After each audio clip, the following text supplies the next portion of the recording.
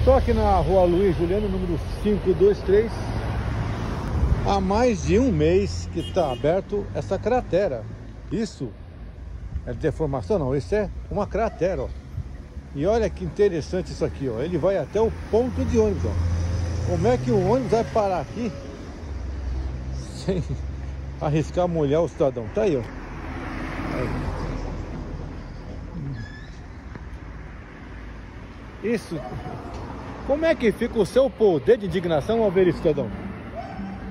Se você se indignou, dê um like nesse vídeo, viralize ele. Faça a sua parte também, porque a gente está fazendo nossa aqui mais de um mês para esse, essa cratera aqui. Isso é deformação? Isso é asfalto danificado pela chuva. Tá aí. Esse vídeo é um ofício.